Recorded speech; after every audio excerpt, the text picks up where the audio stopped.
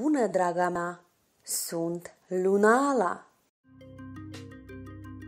Dacă îți sărbătorești ziua de naștere la 12 iulie, autoexprimarea este interesul tău principal. Ești foarte ambițioasă, dar nu vrei să discuți cât de important este succesul pentru tine. Sub neglijență și sociabilitate se află o natură puternică și deliberată, drăguță și elocventă, îți exprimi talentele creative, dramatice și artistice, bucurându-te de șederea în centrul atenției tuturor.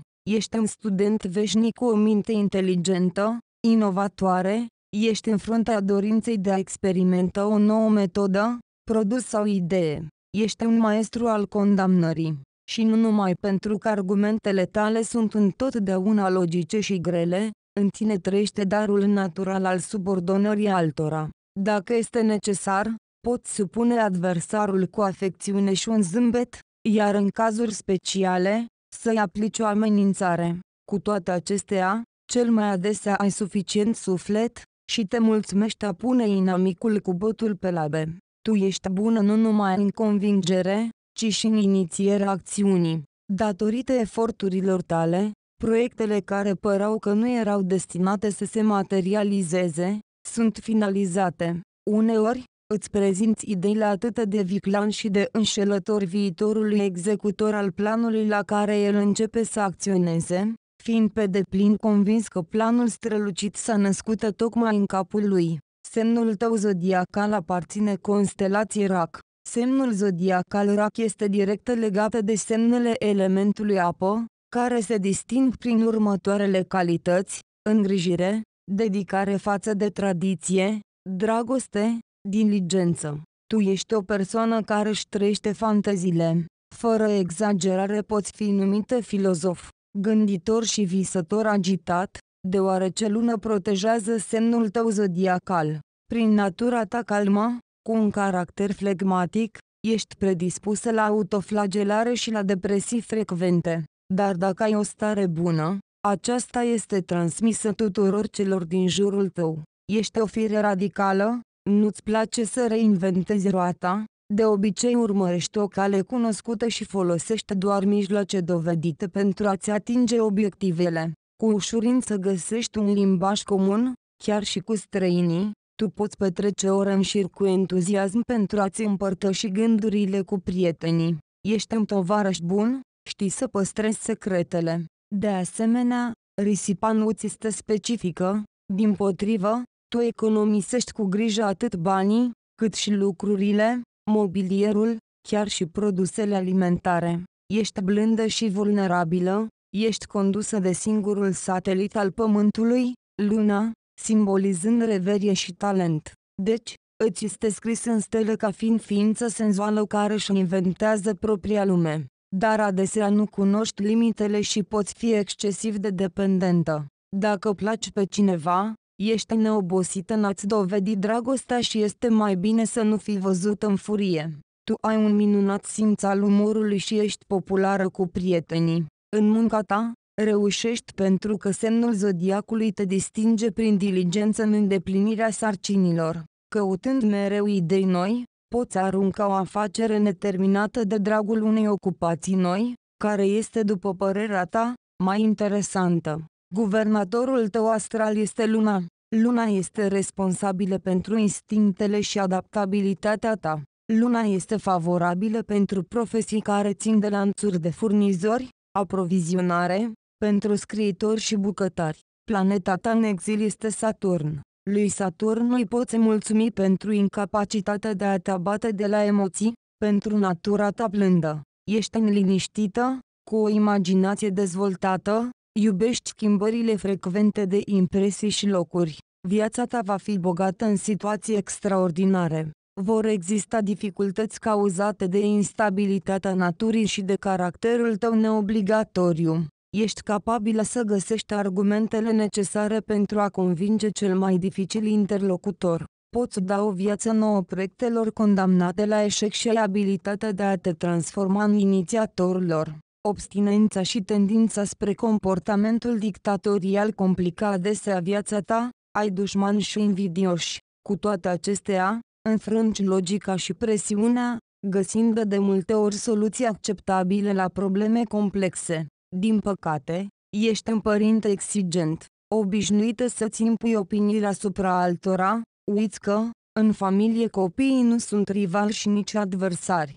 Se poate întâmpla ca urmașii tăi să crească creaturi cu voință slabă și să rămână dependenți și inerți pentru întreaga viață. Probleme similare apar în relațiile de dragoste. Partenerii tăi trebuie protejați adesea împotriva suprimării voinței lor, altfel aceste lucruri dă naștere unor conflicte. Ție nu ți este ușor să găsești un partener la fel de puternic ca și tine pentru viața împreună, cu greu reușești să găsești fericirea personală. Prezența ta este vizibilă în orice situație. La locul de muncă, competența ta este întotdeauna admirabilă și, în plus, ești indispensabilă în rolul arbitrului în litigii. Cu toate acestea, nu te poți socoti cu cei care nu stârnesc admirația ta sau, cel puțin respect. Acesta este motivul pentru care cel mai adesea încerci să găsești o muncă care nu implică subordonarea directă. În plus, fiind încăpățânată, poate fi dificil pentru tine să accepti filozofia unei companii sau a unei organizații. Din nou, datorită naturii tale ești pur și simplu condamnată pentru a avea dușmani și a provoca sentimente antagonice față de cei care sunt în apropiere de tine. Tu crezi cu siguranță că acționezi pentru binele cauzei comune, dar cei din jurul tău văd în hotărârea și perseverența ta, manifestarea obiceiurilor dictatoriale.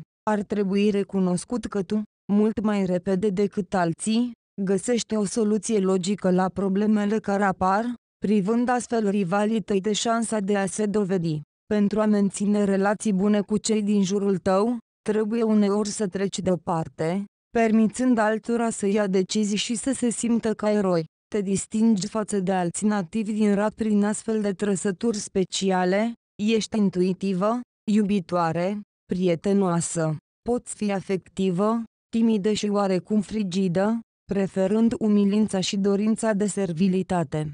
Sau din potrivă, poți fi strălucitoare, instabilă din punct de vedere emoțional, cu o stimă înaltă de sine. Ești sensibilă la critici, predispusă la drame excesive, impresionabilă. Cum afectează data de 12 iulie soarta ta? Îți orientezi destinul în direcția de care ai nevoie, în timp ce manifesti o activitate excesivă. Ești atât de neconstantă că uneori tu însă ți obosești de acest lucru. Pentru tine totul este simplu, astfel încât îți este ușor să te împachetezi undeva brusc și să mergi sau să te muți într-un alt oraș. Se poate ca aceste lucru să te ruineze. La urma urmei, a trăi lângă o astfel de persoană ca tine este extrem de dificil. Aceste lucru este simțit mai ales în viața de familie. O astfel de instabilitate, coroborată cu încălcarea unor promisiuni, nu se potrivește cu angajatorii. Ai o minte curioasă și o observație excelentă, acestea ar trebui luate în considerare atunci când alegi o profesie. Tu preferi munca care nu implică subordonarea directă conducerii, pentru a nu crea situații de conflict. În același timp, ai darul convingerii. Prin natura ta, îți sunt date și o întreagă gamă de instrumente care contribuie la transformarea adversarului în prietenul tău. Ești fermecătoare, ai un bun simț al umorului. Numeroși prieteni și cunoștințe au plăcerea să te invite în rolul de mediator. Agilitatea ta conduce la crearea unei mulțimi de noi afaceri și proiecte, și pe multe dintre ele le aduci la sfârșit, indiferentă de costuri. Toate acestea datorită muncii grele și dedicării. Tu îți poți transforma cu ușurință visele în realitate. Te adaptezi bine la orice situație și încerci să fii competentă în ceea ce faci. Există însă întotdeauna o lipsă de atenție pentru familie și copii. Începi să te comporți cu rudele în același mod ca și cu oponenții în activitățile tale profesionale. În consecință, îți suprimi adesea copiii, care apoi nu au opinii și aspirații proprii. În căsătorie, vei fi fericită dacă vei găsi același tip de partener activ și puternic. În același timp, ești capabilă să cedezi și să cauți compromisuri. Dacă ai încercat să trăiești împreună cu părinții tăi foarte multă timp, O legătură puternică cu mama ta te afectează. Poți fi percepută de alții ca dictator, deci nu poți evita conflictele și confruntările cu cineva. În plus, poți fi chiar acuzată de urmărirea unor scopuri egoiste, ascunzându-te în spatele actelor sociale. Pentru a evita astfel de situații, trebuie doar să oferi altora ocazie de a lua decizii. Ești dulce și prietenoasă, pentru natura ta blândă ești iubită de bărbați, cu excepția cazului în care, desigur, îi torturezi excesiv cu învățăturile tale morale. Dacă poți face față temperamentului tău violent și impermanenței, te așteaptă succesul în viață. Ți se recomandă să porți ceva mai des culoare alb și să te înconjuri cu această culoare în spațiu. Dragoste și compatibilitate. Ești cu adevărat dedicată prietenilor și familiei. Ești o persoană generoasă, caldă și plăcută, îți place să discuți atât la petreceri cât și într-o atmosferă mai relaxată. Într-o relație intimă, ești iubitoare și romantică, dar în niciun caz naivă. În absența punctelor comune de contact și a rudeniei intelectuale caracteristice prieteniilor, începi să te plictisești și să-ți pierzi interesul față de o persoană. Racul este singurul semn care poate într-un fel sau altul să găsească înțelegere reciprocă cu toate semnele zodiacului, dar tu găsești o fericire specială cu scorpionul, fecioara, capricornul, taurul și peștii. Cu anumite compromisuri, există șansa de a construi o relație cu balanța, săgetătorul și leul. Cele mai multe alianțe nereușite sunt cu berbecul, gemenii, racul, și extrem de rar cu vărsătorul. Totul este însă posibil, neștiind nici ascendentul tău și nici lista datoriilor karmice reciproce. Locuri de muncă și carieră. Începi să lucrezi de vreme în viață și câștigi din curând capacitatea de a face bani. Munca și cariera ocupă un loc central în viața ta. Datorită abilităților de autoeducație, ai o erudiție considerabilă. O carieră de succes se poate dezvolta în jurnalism, finanțe, medicină, diverse domenii ale științei, sănătate și boli. Tu poți să nu iei în considerare sănătatea, deoarece atenția ta este concentrată în întregime pe muncă și pe propriile tale proiecte. Astfel, este recomandabil să vizitezi în mod regulat medicul și să-i asculți sfaturile sensibile. Este, de asemenea, o idee bună să faci o regulă pentru exerciții fizice. Alergarea, aerobicul, gimnastica sau înnotul sunt opțiuni ideale pentru dependența de sport.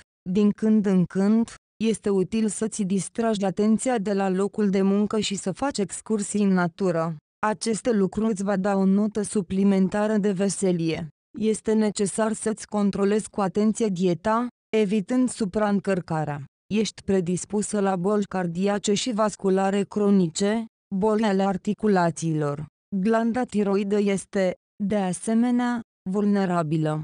Destinul și norocul. Te-ai născut cu o imaginație bogată. Vei avea o viață agitată, plină de tot felul de evenimente, situații schimbabile.